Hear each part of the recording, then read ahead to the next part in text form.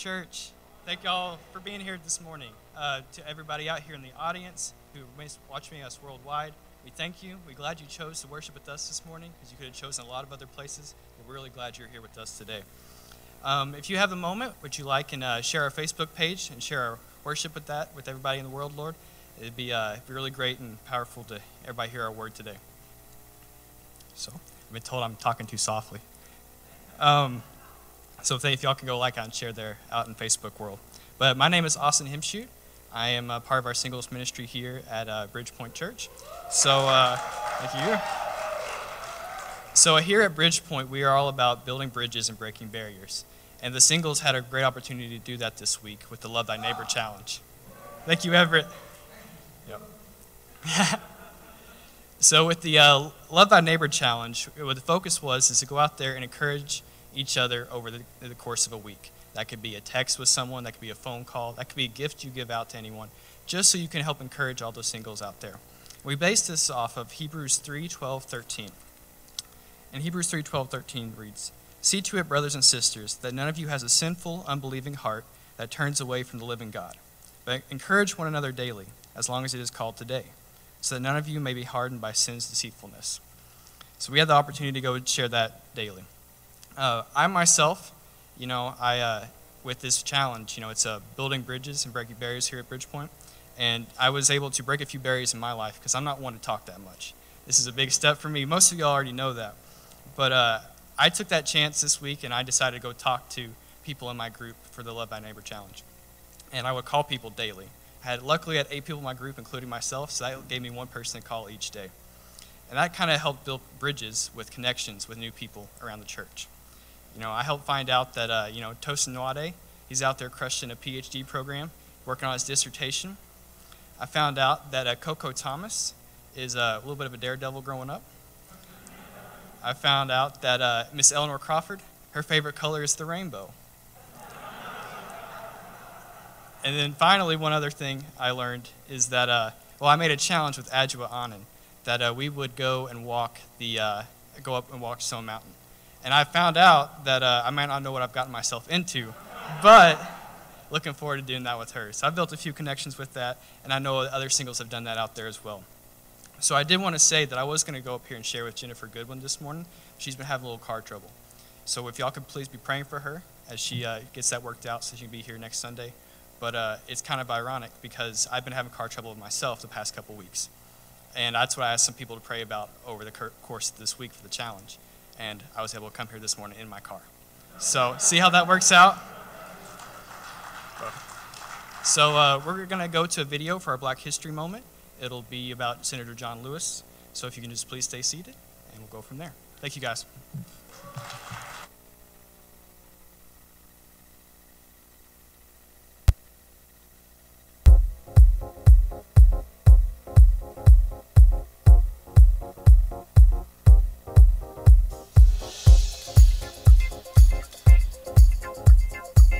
Bridge Pointe Church. My name is Marv Richardson, and I have the opportunity of doing the Black History Month moment this morning.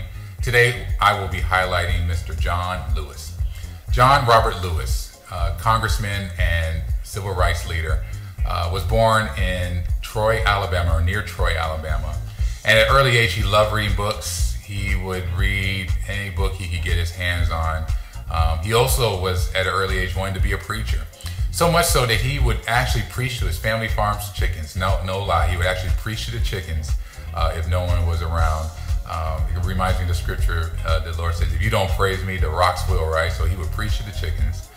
Um, as I mentioned, he loved reading books. And when he, at the age of 16, he would go with his friends to a public library to get a library card and would be denied to get a library card because of the color of his skin in college at Fisk University, he would help found the SNCC, the Student Nonviolent Coordinating Committee.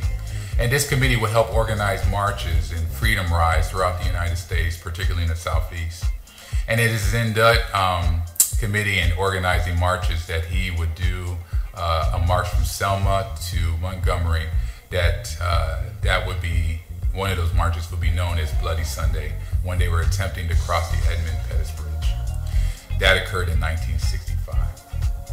after that, uh, and, and, it really caught the nation, the pulse of the nation, there was change that created from that.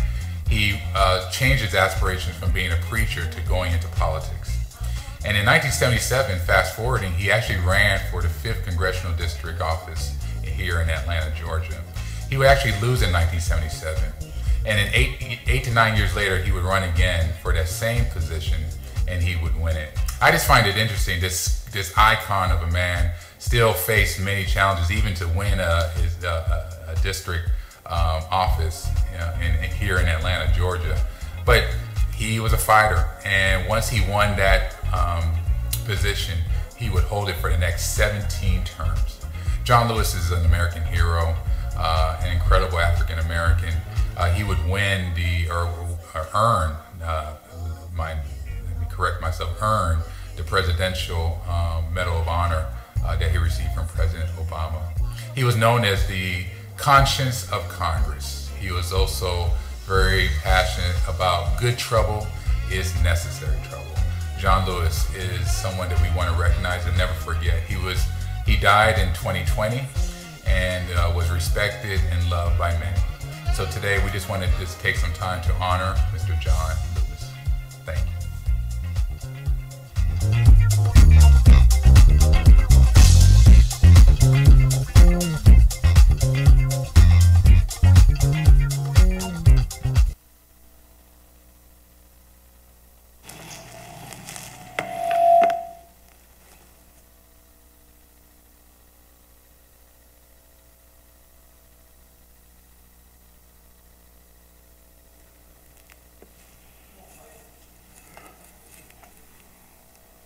Well, good morning, everybody.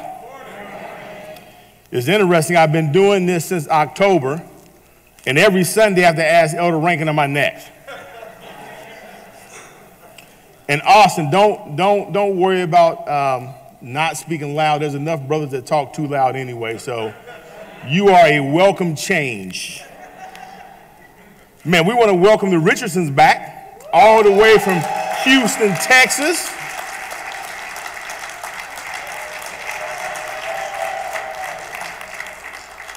Marv got a different haircut. Oh, that's the, that's the uh, partner haircut. That's I got to be in person haircut. So, welcome back, guys. We're so grateful that God allowed you the space to go to Houston. We know how important it is to be around family, but we're so grateful that God has brought you guys back here. Let's go to God in a word of prayer. Uh, dear Father God in heaven, you are truly an awesome God. Thank you for your love, your compassion, your grace and your mercy. Father, there are so many needs that we have. Father, we have lost many loved ones. Want to pray for Paul Elder and his family. They lost their mom and they will be having a homegoing service this Tuesday. We pray that you will be with them, that you will protect them and watch over them. We pray for Jarrell Jones, whose sister lost her husband, that you will be with them. Father, we pray that, we know that there's some sicknesses going on, and we pray that you will meet those needs. Thank you for this opportunity to worship you, Father. We pray that this service is a, um, we, that we will worship you in spirit and truth. Use me as your tool and as your vessel. And Father, we want to pray for our country and for our world. That you will use us as a light shining in a dark place. Help us to be less so that you can be more. So in your son's holy name we pray. Amen. Wow, man, had a great chance to go to a um, birthday party yesterday. One of my childhood friends, uh, it was uh, myself. So they, they, they live probably about five miles away. So it was uh, me, my cousin Andre, and Todd and Donovan. We were, we were kind of like the four amigos. So whenever we would play sports, it would be my cousin and Donovan because they thought they were like, you know, kind of cutish and all that type of stuff. They, little fly. And me and Ty, we were kind of the, the grumpy old guys. So their mom moved here a couple years ago and she had her 80th birthday party. So we had a chance to celebrate that. But something that was interesting, my cousin graduated from Hampton in 1985. And we had a chance, so we all went to the graduation. So in 1985, I was 21, had a chance to see a picture of all three of our parents at the beach. So that means they were like 40 years old. So we were talking like that, whoa, whoa, where was this picture at? It was at the same graduation. We said, well, why weren't we invited? I mean, because I'm like, wow, my mom, she's having a real good time. I've never seen my mom have that type of good time. My mom at the beach in the water? Man, my mom was so overprotective. It was, but anyway, so we asked Mrs. Shit, like, why didn't we get invited to this? Like, well, it was no kids allowed. I'm like, oh, I got you. And for those who, of us who are empty nesters, we understand what it means no kids allowed. Amen. Turn your Bibles over to Genesis chapter 1. And again, we're still setting the foundation for repentance. And today we're just going to talk about being created in God's image and what that means. Being an image bearer of God, do we understand the opportunities, but the huge ramifications of what that means? And being an image, and being an image bearer of God has nothing to do with whether you're a Christian or not. God has still called us to be. And so many times we want to talk about what to do instead of before we understand who we are. It's vitally important that we understand who we are. Genesis chapter 1, starting in verse 24. And God said, Let the land produce living creatures according to their kinds, livestock, creatures that move along the ground, and wild animals, each according to his kind. And it was so. God made the wild animals according to their kind, the livestock according to their kind, and all the creatures that move along the ground according to their kinds. And God saw that it was good. Then God said, Let us make man in our image, in our likeness, and let them rule over the fish of the sea and the birds of the air, over the livestock, over all the earth, and over all the creatures that move along the ground. So God created man in his own image. In the image of God, he created them, male and female. And then later when it reads, it says, And when God saw what he had created, he saw that it was good. Now, notice says, us created them. Now, I'm not going to get into the creation there about man and woman, but understand, guys, we have messed up our view of womanhood according to the scriptures. Now, that's a conversation for another day, but we study it out and understand what woman's role is and how she was created. She is not less than. As a matter of fact, when you study it out, it means that she is the same as, as opposite to, man, to a man. She is as superior to a guy. But that's a conversation for a whole nother day. That might take a month, that might take a year, because I think the church, we have skewed how God sees women. And we have to repent. And we'll talk about that. Here we see this, this narrative in Genesis chapter, don't turn there, 1, 3 through 5. We see that God created light. 6 through 8, God created the atmosphere. 9 through 13, God created the waters, dry land, and vegetation. 14 through 19, God distributed light upon the earth to regulate day and night. 14 through 19, the seasons. 20 through 23, water and air. Verses 24 through 25, God created land animals. And now on the second half of the sixth day, God created us, the culmination, his masterpiece. Now, understand we read Genesis, it is not a science book. It's not a science book.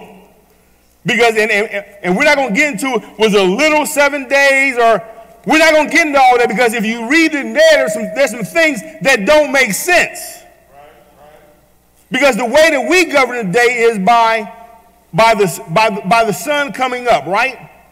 But we see that that didn't happen for a couple of days. So how was days measured then? You have plants before you have light. But again, it's not a science book. So let's not try to read it as a science book. And science and God do not conflict. We just have to have the deeper understanding of it. Earth was completely filled. When God, when on that sixth day, God said, It is done. I have done everything that I need to do. So there was no more creation that had been left. Now we have to understand that put your, try to put yourself in the situation of the first hearers of this message from Moses. They were enslaved people. And they were in a culture and a society where your worth was built upon what you do and not who you are. Now, I wish we have changed that narrative.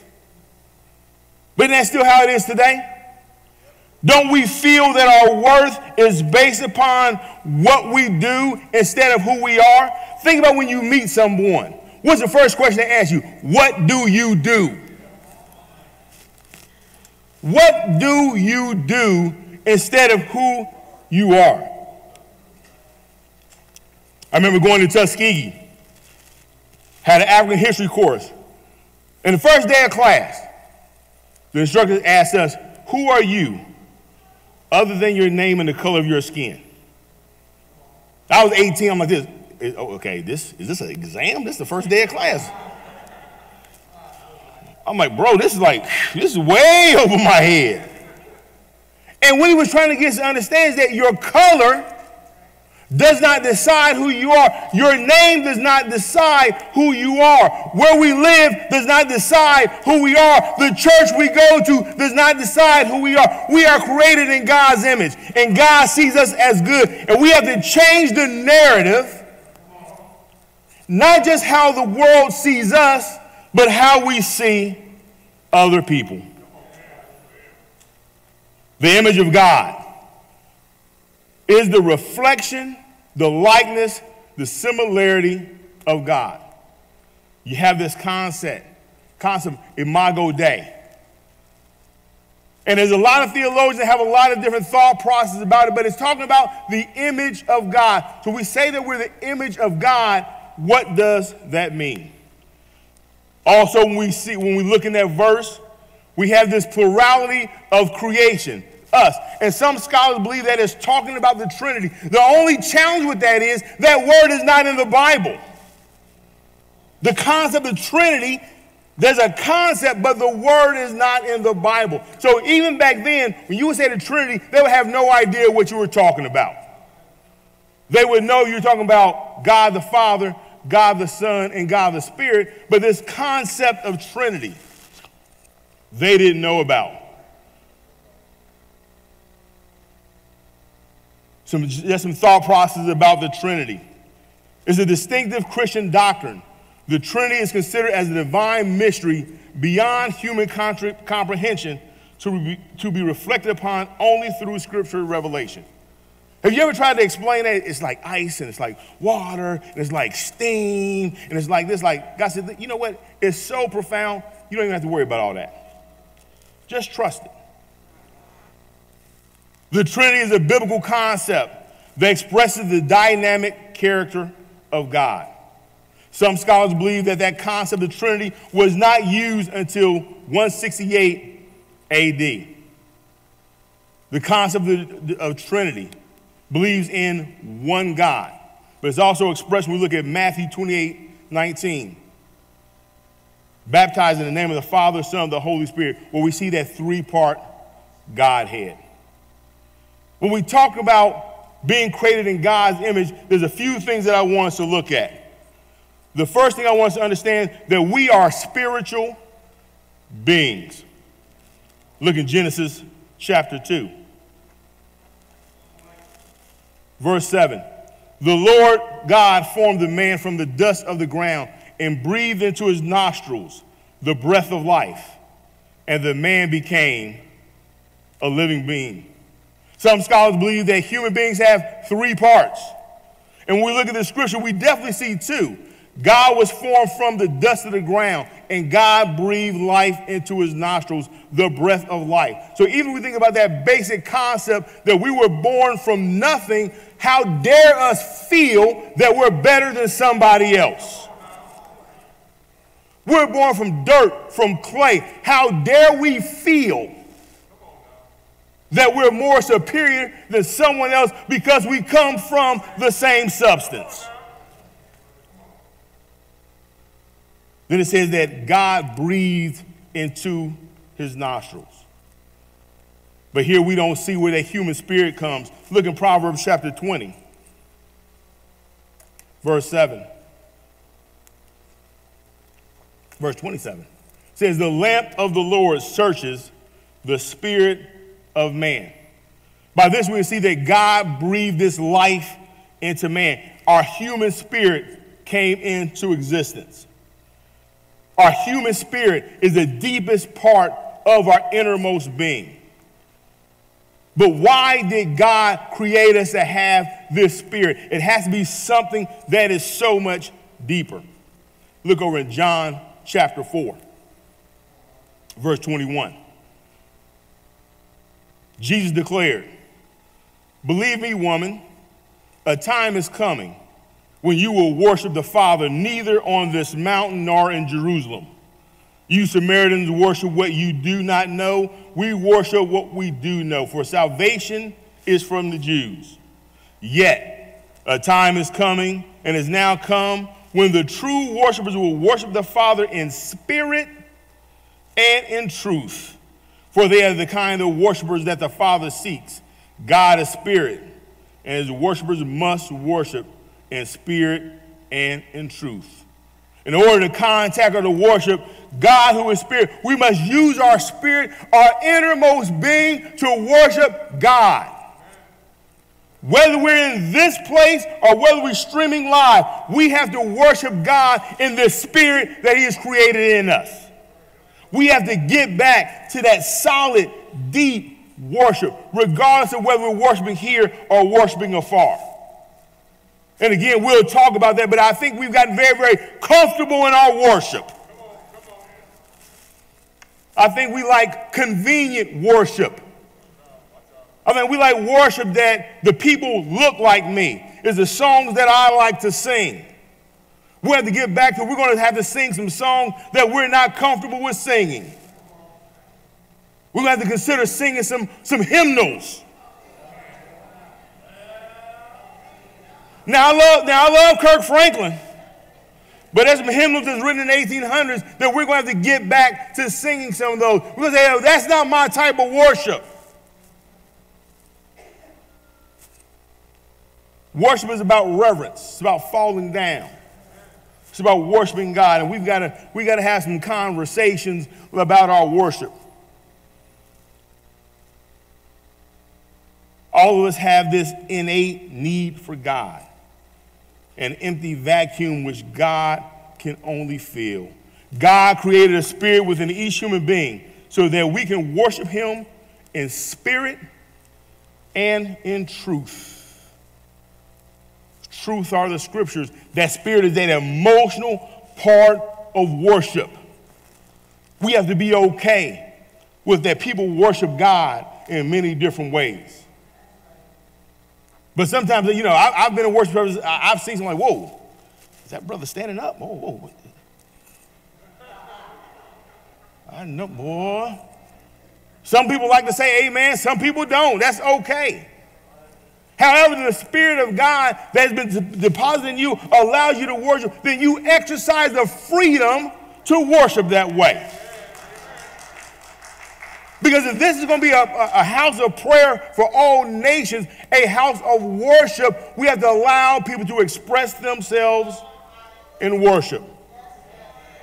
We're going to be a church that builds bridges and breaks barriers, are we going to really be okay with the marginalized, the undesirables that made the mistakes to come in and worship our God?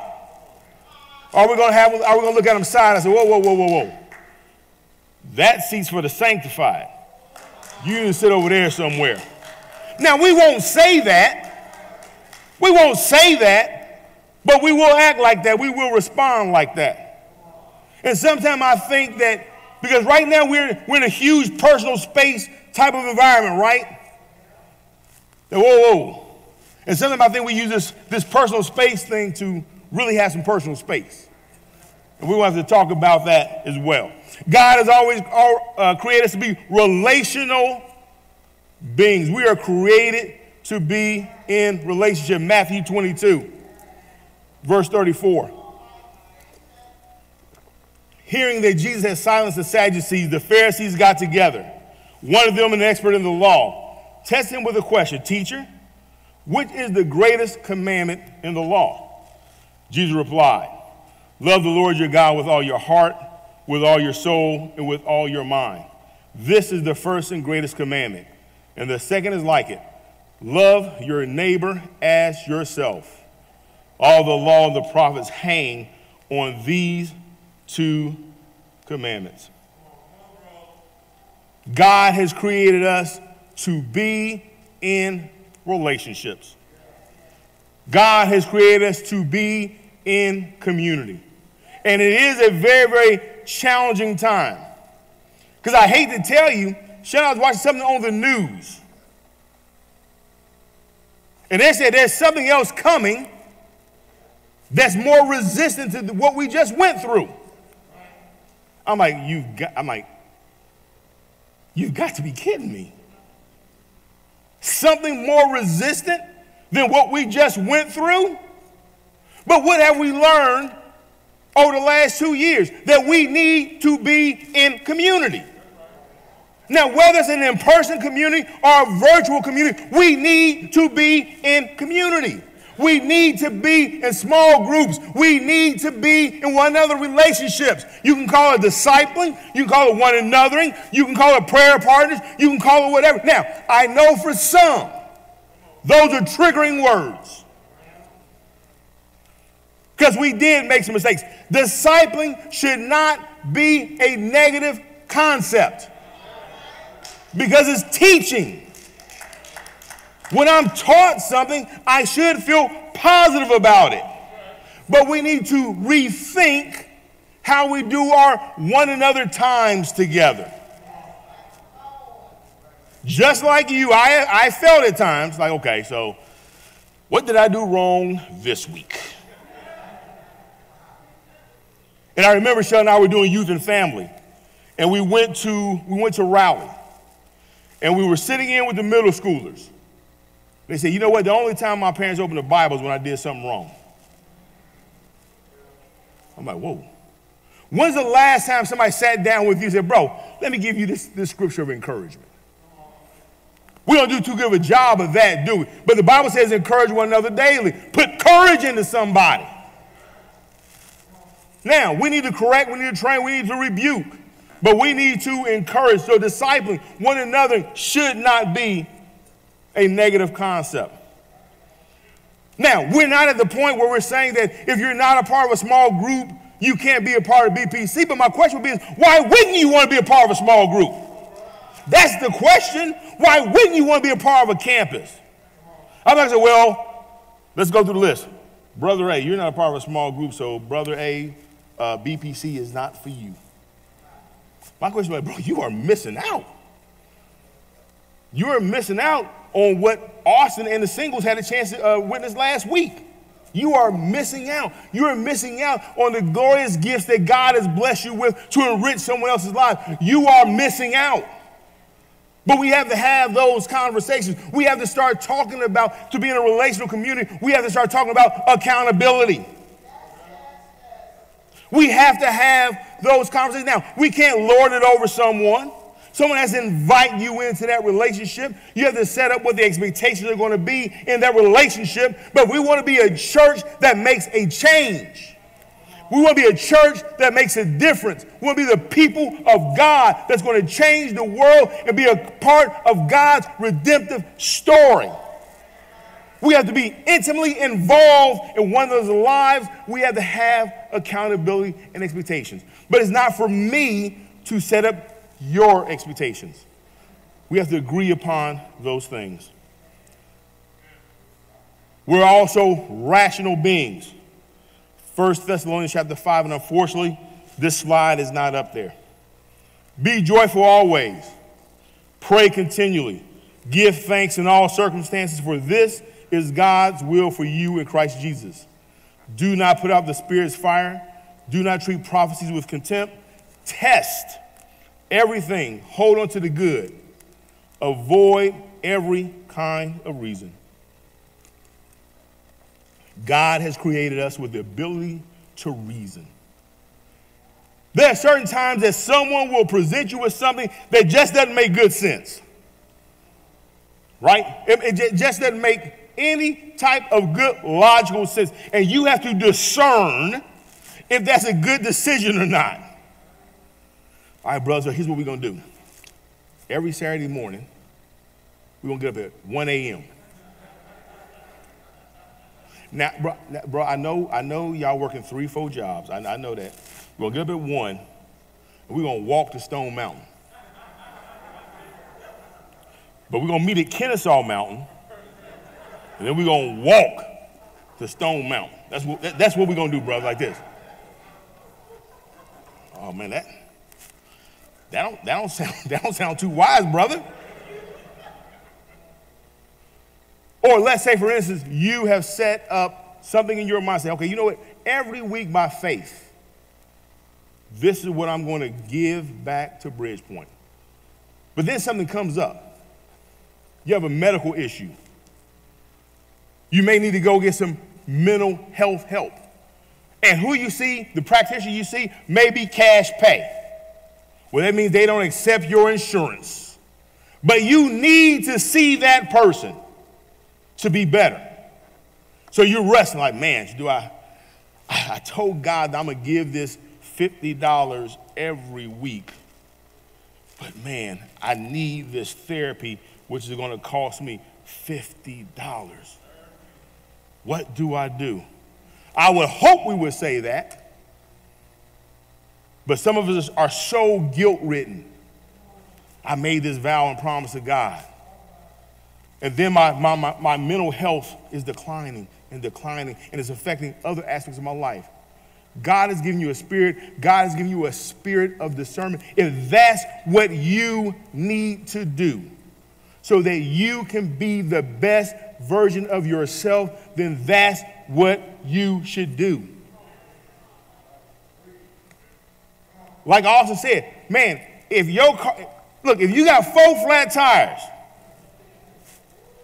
and you need your car to get to work, and you're paid hourly, and you're on probation, which means you just started. 90 day probation. They say, look, if you late, you're going to lose this job. And, it's, and, and, right, and right now, it's coming up on May 1st. We have our special day of generosity. And you made this commitment. Hey, I'm going to give X amount of dollars. It's going to go to this, but I got four flat tires. Brother, go get them four flat tires fixed. The mission of God will still move forward. But I also have the other side of discernment. How big of a TV do I need? I mean, how big of a TV do I need? Now, now, you know what, man? I've got, you know what? You know we always have a, a live Super Bowl party. And God, look, God says use your wealth to influence your friends. So I'm gonna get this. I'm not gonna give to God, but I'm gonna get this TV. You gotta discern and figure that out. God has also designed us with free will. Look over Deuteronomy chapter 30. starting in verse 15.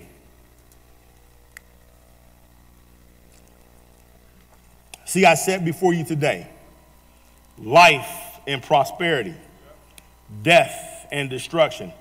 For I command you today to love the Lord your God, to walk in his ways and to keep his commands, decrees, and laws. Then you will live and increase, and the Lord your God will bless you in the land you are entering. I love the first part of that passage. Don't we just wish that's how our walk with God was? That every time we read the Bible, or someone says, Thus saith the Lord, man, we're going to follow it wholeheartedly.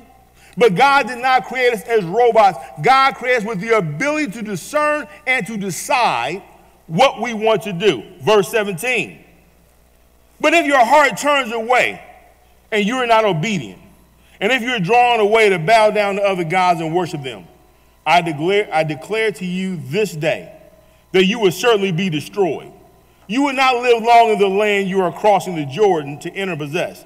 This day, I call heaven and earth as witnesses against you that I have set before you life and death, blessings and curses. Now choose life so that you and your children may live.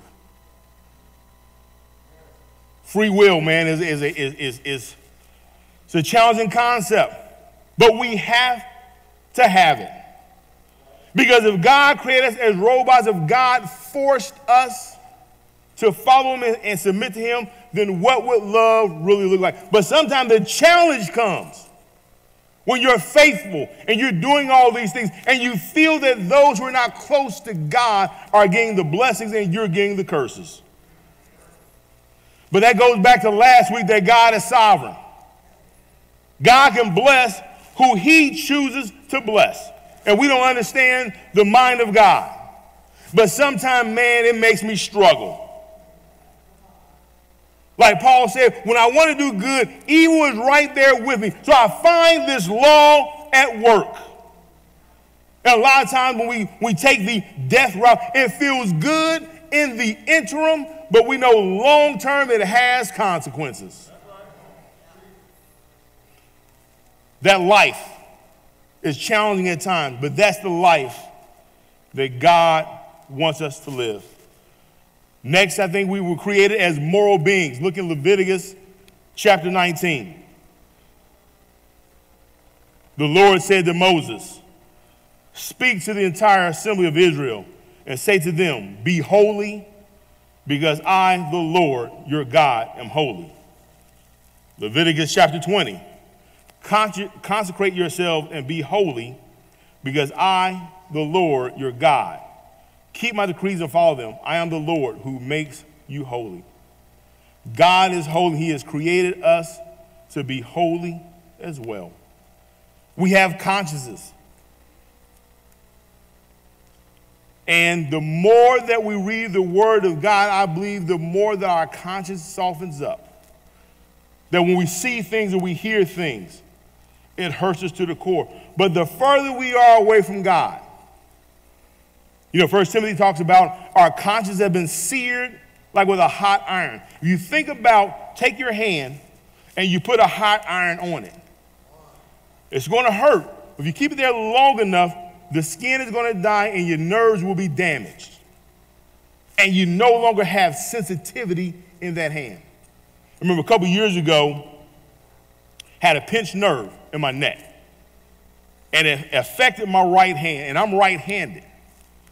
So even if I would try to lift something, it was literally like lifting like this. There were certain times I would reach out to grab something and I couldn't feel it. So it's the same concept when it comes to our consciousness. The more we're in the Word of God, the softer our conscience should feel, but the less we're away, with, uh, less we're away from God, our conscience gets seared. They get, our hearts get hard. Things that should bother us no longer bother us. I remember over the last two years, Sean and I were, man, we were, man, oh my gosh, we were news junkies. Because we had a COVID response team so we're always looking at the news. Oh man, did you see this? And oh my gosh, what's this report? And what's the county going to do? What's the state going to do? What's this region going to do? And did you see what just happened there? I said, honey, you know what? I can't watch the news anymore. I just can't do it. Because I was watching more of the news and listening to the Word of God. And my heart was getting hard. I was, I was, becoming, I was getting very, very angry. I wanted to go back to the Tuskegee Mike. And that's a story for a whole nother day. The Tuskegee Mike was not a nice guy.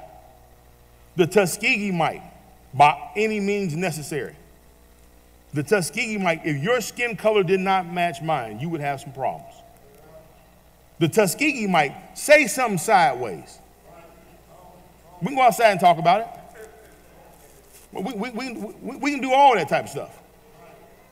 And I was feeling that way. But the challenge was I started feeling that way towards people in my congregation. You see some on Facebook like this I don't believe that joker said that. Oh, wait until I see him on Sunday. Or I would do the great cutoff. You know what the great cutoff is, don't you? What type of Christian would fill in the blank? My conscience was no longer soft. I had to get back in the Word of God. I had to be more in tune with the Word of God than cable news network. Morality. Without moral will, one cannot have moral accountability. Next, we're responsible beings. Look over in Psalms 8.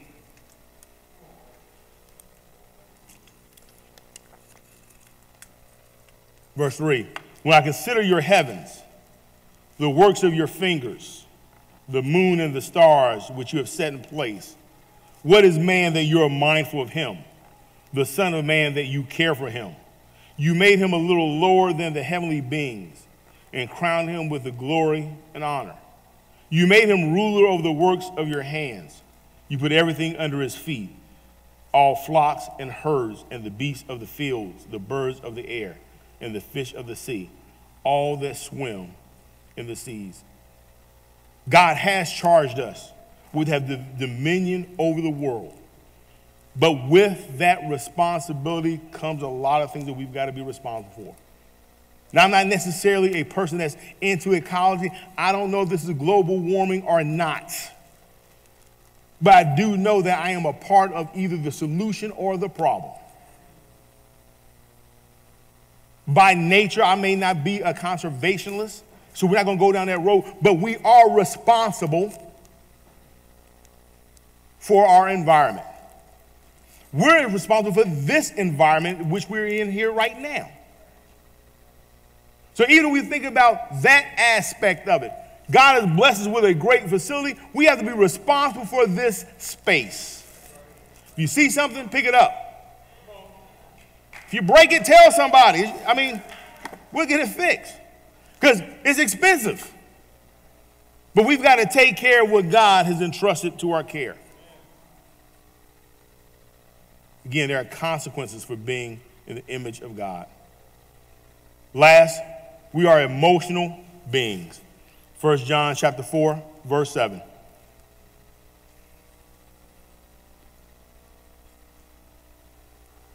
Dear friends, let us love one another, for love comes from God. Everyone who lo- loves has been born of God and knows God. Whoever does not love does not know God because God is love. This is how God showed his love among us. He sent his one and only Son into the world that we might live through him. This is love. Not that we love God, but that he loved us and sent his Son as an atoning sacrifice for our, for our sins. Dear friends, since God so loved us, we also ought to love one another. No one has ever seen God, but if we love one another, God lives in us, and his love is made perfect in us. God is love. He has created all of us with the capacity to, to love. God chose to love us, and we're called to love one another. We're called to love people that we agree with and people that we disagree with. We are called to love unconditionally. We're called to have brotherly love. We're called to have passion love. Love is not an option. Some questions for us to ponder this week, and then we're going to transition into communion. And what I want us to think about is being an image bearer of God. So wherever we go, we are God's representatives. How does the fact that people are made in God's image affect the way that you feel about yourself? How does the fact that people are made in God's image affect the way that you feel about yourself?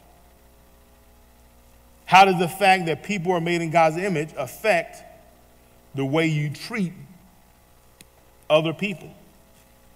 How does the fact that people are made in God's image affect the way you treat other people? In what way do you need to change the way you treat other people since they're made in God's image? In what way do you need to change the way you treat other people since they're made in God's image? Let's pray and then we're going to transition to communion. Dear Father God in heaven, thank you so very much for this chance to worship you.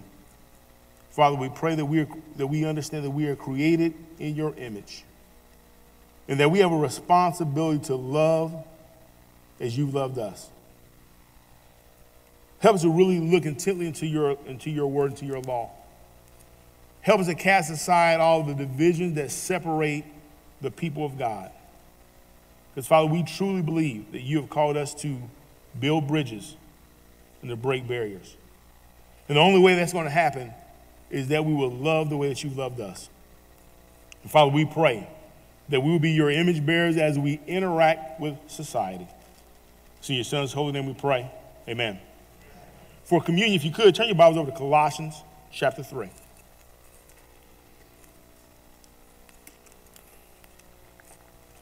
Starting in verse 1. Since then, you have been raised with Christ Set your hearts on things above, where Christ is seated at the right hand of God. Set your minds on things above, not on earthly things. For you died, your life is now hidden with Christ in God. When Christ, who is your life, appears, then you also will appear with him in glory. Verse 5 Put to death, therefore, whatever belongs to your earthly nature sexual morality, impurity, lust, evil desires, and greed, which is idolatry. Because of these, the wrath of God is coming. You used to walk in these ways in the life you once lived, but now you must rid yourselves of all such things as these anger, rage, malice slander, and filthy language from your lips. Do not lie to each other, since, you're, since you have taken off your old self with its practices and put on the new self, which is being renewed in knowledge in the image of its creator. Here there is no Greek or Jew, circumcised or uncircumcised, barbarian, Scythian, slave, or free, but Christ is all and is in all. Therefore, as God's surely chosen people, holy and dearly loved. Clothe yourselves with compassion, kindness, humility, gentleness, and patience. Bear with each other and forgive whatever grievances you may have against one another. Forgive as the Lord forgave you. And over all these virtues, put on love which binds them all together in perfect unity. We see that verses 5 through 9 talks about sins of omission and sins of commission. But then in verse 10, the more that we have an opportunity to truly understand the love of God, his love for us, that he wants to be in fellowship with us, that he wants to use us to be a part of his plan, we can put on our new self as we commune today, I want us to think about being compassionate, being kind, being humble, being gentle, being patient, forgiving, and loving. As we have a chance to commune with God, that's the type of people, that's the image bearer that God wants us to be. Let's pray. Dear Father God in heaven, thank you so very much for this opportunity to commune with you through your Son. We're so grateful that we have your word. We're so grateful that we have your son, who is a living example of the people that we should be. And Father, we want to be compassionate, kind, and humble. We want to be gentle, patient, forgiving, and loving. And Father, we want to love you, but also we want to love others the way that you've loved us.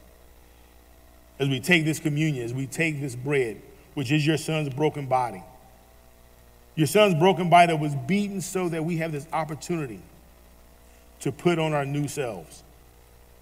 As we take this fruit of the vine, which is your son's blood, that continues to wash away our sins, the sins of omission and the sins of commission, understanding that we're going to blow it and, and mess up. But because of your son's blood, we have been forgiven and our sins are washed away. Help us to never take this opportunity in vain. We love you. In your holy name we pray. Amen.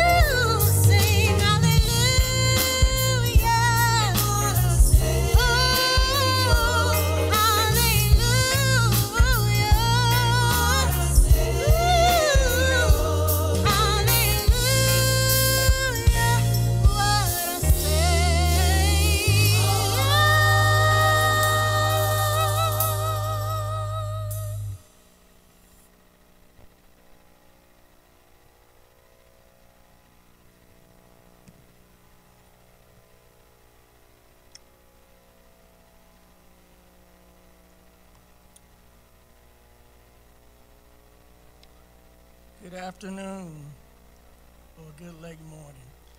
Thank you, Mike, for that uh, message of uh, encouragement. And I want to start off with uh, what Mike's been talking about in Malachi chapter 3, starting in verse 6. This is a call to repentance. I am the Lord and I do not change. I'm sorry, I'm, reading from the NLT. That, that is why your descendants of Jacob are not already destroyed. Ever since the days of your ancestors, you have scorned my decrees and failed to obey them. Now return to me, and I will return to you, says the Lord of heaven's armies. But you ask, how can we return when we have never gone away? Should people cheat God? Yet you have cheated me. But you ask, what do you mean?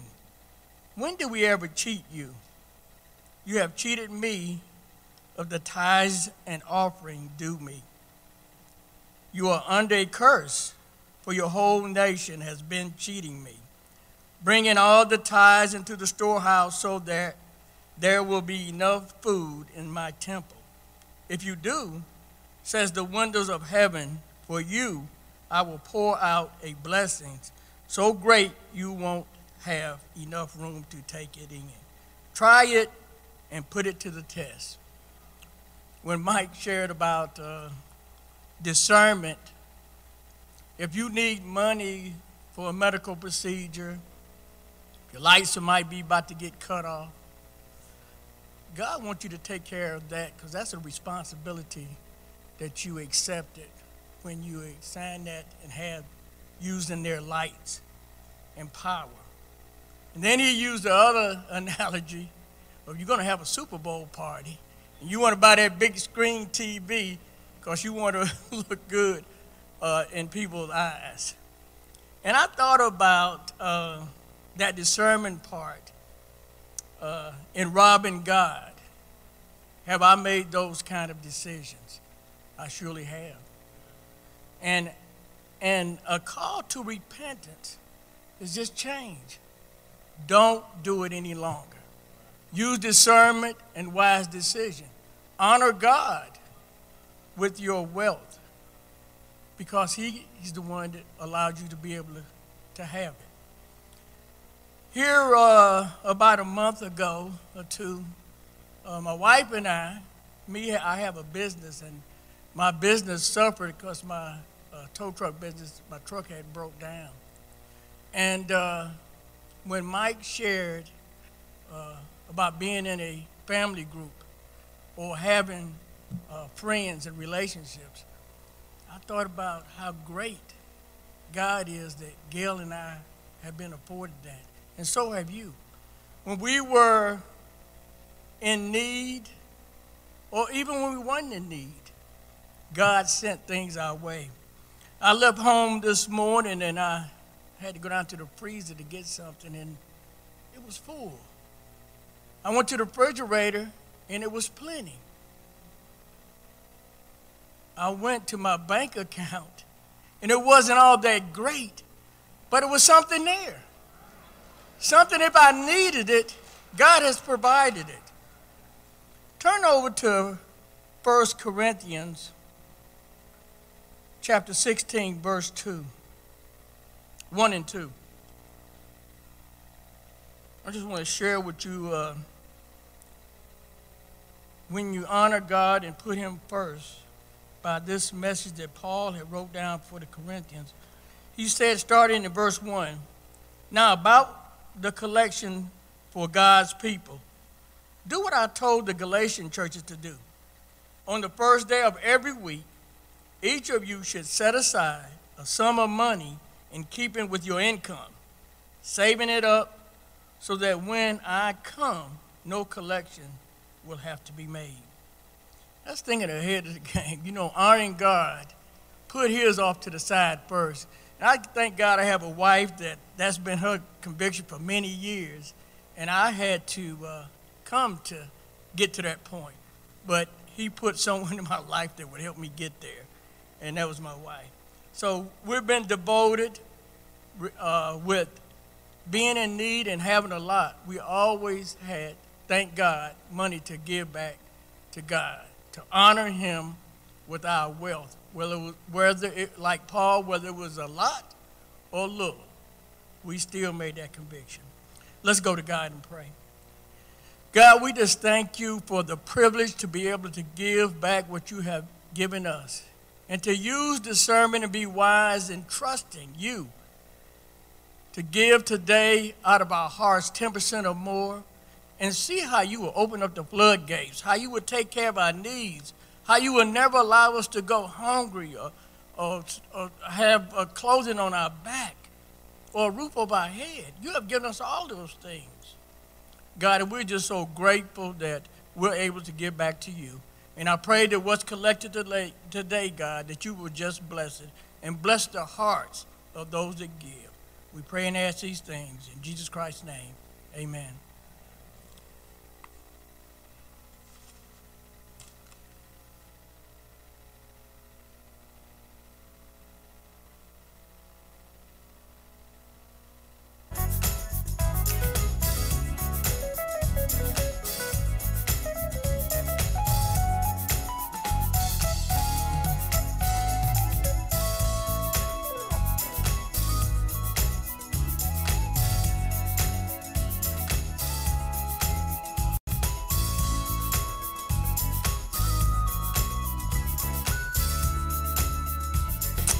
Hey y'all, again.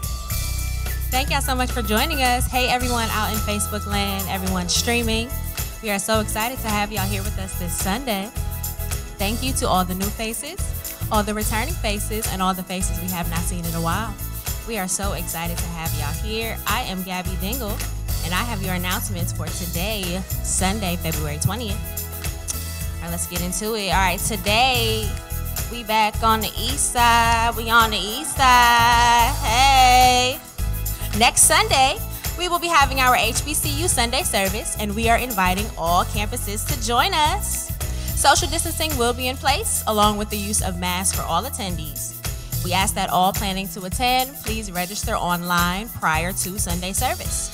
The registration link will be sent to Bridge Group leaders. It will be online, and if you get those alerts from BPC, you will get it sent directly to your phone. And if you did not get an opportunity to send in your HBCU or Divine Nine apparel, we are so sorry, but we are no longer accepting, what are they called?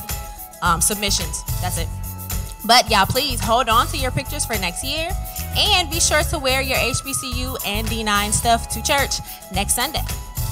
If you got the dates mixed up and you wore your HBCU stuff at any other point this month, we love it, okay? Because we black every day, all day, all the time. So we love it. Kids Point is back, but we're seeking more volunteers for our teaching rotations. We're hoping to find six new volunteers for each campus service.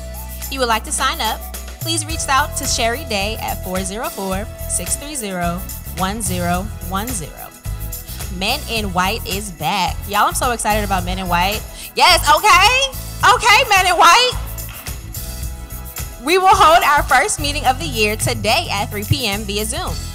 Men in White is a men's accountability group geared towards helping young and mature men, so sixth grade and up, understand and master their sexual purity. But this year, MIW will be expanding its focus to help men recognize and address the wide variety of sins they may combat in their personal lives.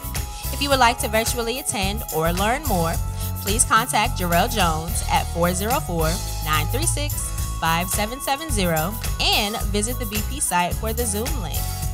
Are there any teens here right now? Any teens? Where y'all at? Okay, teens. Okay, teens. BPC Teens, please join us for our teen huddle directly after service in the sanctuary, stage left in the back. So back there, right? Here. JK. It's over there. Oops. For an opportunity to reflect on today's message, fellowship, and discuss upcoming events. This will only take about 10 minutes, so please hurry to the huddle once service ends. And y'all do not rely on my directions, okay? It's gonna be out that way. Can you escape? We finna be trapped, y'all. Can you escape? Well, not all of us, the teens, you trapped. Can you escape? BPC Teens Ministry will be hosting some escape room fun next Sunday, February 27th, from 12 to 1:30 p.m. at Project Escape Atlanta, located in Marietta. The first 10 teens to RSVP will receive a 50% discount for admission. Y'all, we stand a discount, okay? First 10 teens, 50% off. So be sure to RSVP by Wednesday, February 23rd. That's this Wednesday. By contacting the rights at 260 239 2094. We hope to see you there. Thank you to all the members and guests who contribute financially each week. Your generosity is a blessing. And without you, our church wouldn't have the opportunity to impact this ministry or influence our community. Join us on Sunday, May 1st, to celebrate our church anniversary and to hear me sing the classic anniversary, because I'm going to sing it. We thank all of you who've already given, and we're so appreciative of you and your hearts to sacrifice. All of your giving helps BPC to support local, regional, and international needs. Thank you to Brother AC for giving us such a convicting contribution message. Y'all remember that we have three ways to give. You can either mail your check or money order directly to 285 Victory Drive. You can hit that give tab online at www.bridgepoint.life, or you can text your desired amount to 678 257 3277. Are you a Bridge Pointe member? Get access to premium content content, and important updates by creating your member account today. Just click the login button on the website menu and sign up with an existing email, Gmail, or Facebook account. Be sure to fill out the membership form once your account request has been accepted. Feel free to contact info at bridgepoint.live if you have any questions or need assistance. And like I said, y'all, um, if you have already signed up to get those alerts, you are already in the know. If not, it is not too late. Y'all stay connected. You would like to receive text alerts for church news and updates, just text BPC 411 to 678 647 9757. Now, our elder exec, exec elder, however you want to put it, however you want to say it, Elder Rankin is coming up to close us out. We love y'all much. Y'all stay up, and we'll see you next week.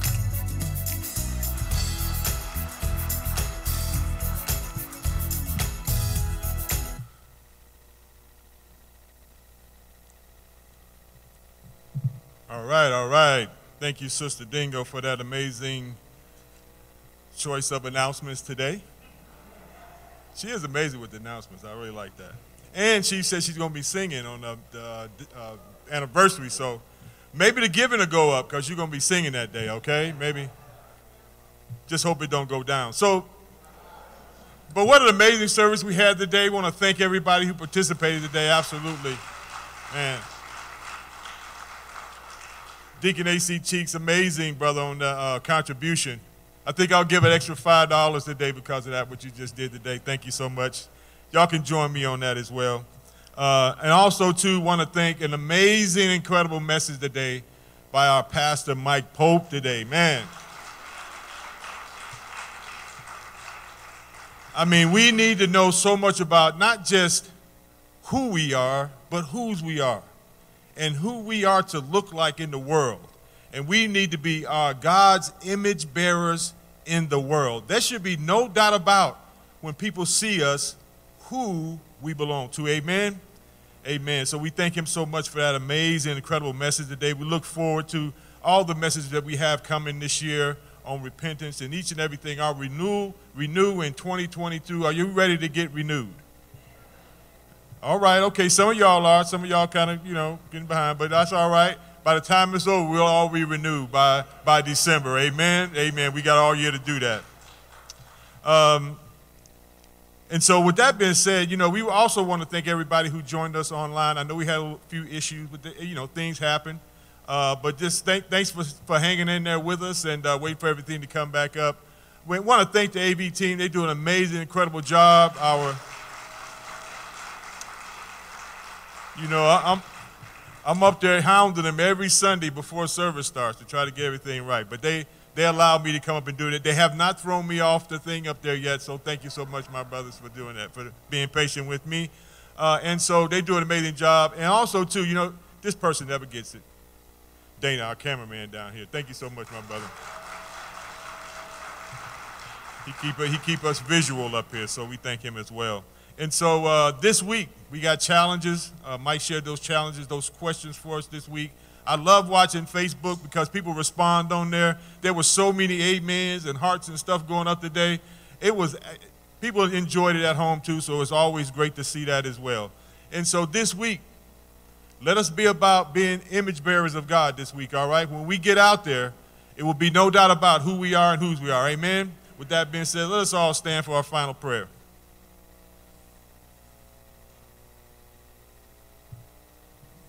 Let's go to God in prayer. Father, we, we come once again. And we come before you as humble as we know how. Father, we are so, so grateful that you have been so good to us this week. Despite what we may have went through this week, here we are. You woke us up this morning. You allowed us to lay down last night. It was nothing that we did. It was all because of you. You led us here safely today so that we would be able to worship you in spirit and in truth.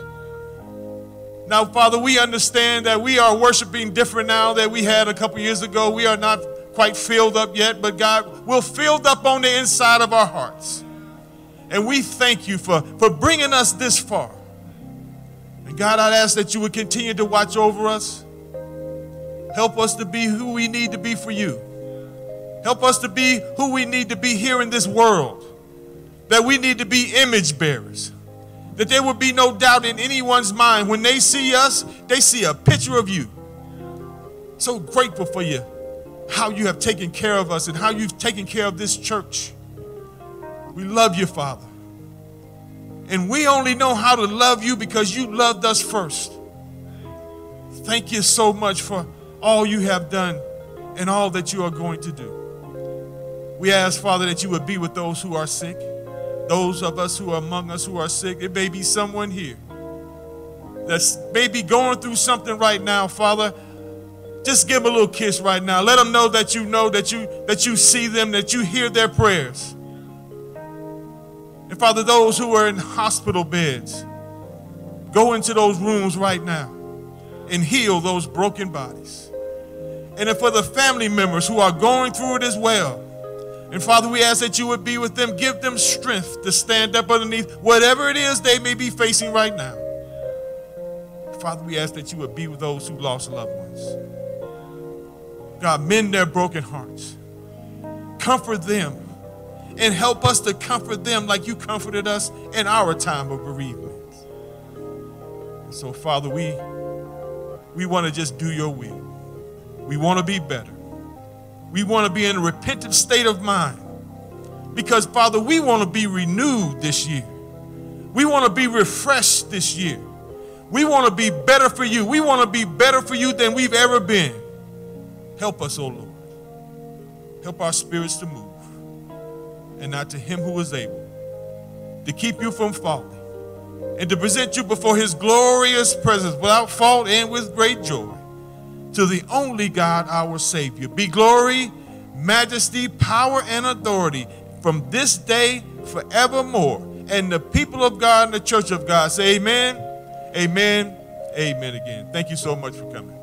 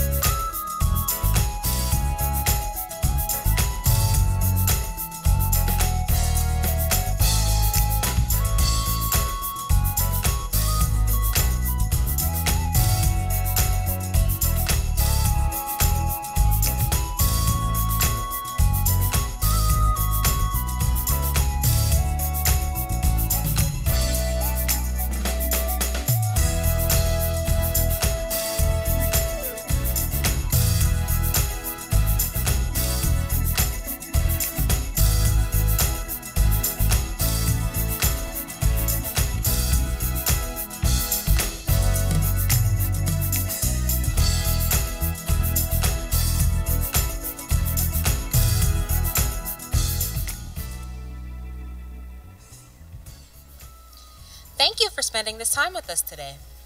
Like Matthew 18 20 tells us, For where two or three gather in my name, there am I with them. So we know God was all up in here today. To hear more sermons, get announcements, special events info, and any other church information, visit our website at bridgepoint.life. If you're looking for a church home, please don't hesitate to contact us on any of our social media platforms including Twitter, Facebook, and Instagram at Bridgepoint ATL. If you are in need of prayer or would like to get a call from someone on our ministry team, you can also do this through social media. May God bless you and keep you. You have been listening to the broadcast by BPC. We are located at 285 Victory Drive Southeast, Marietta, Georgia 30060. We look forward to having you here with us again each and every Sunday at 10 a.m.